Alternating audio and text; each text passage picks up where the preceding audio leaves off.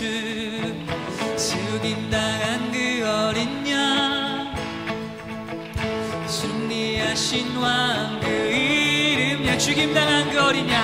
죽임 당한 그 어린 양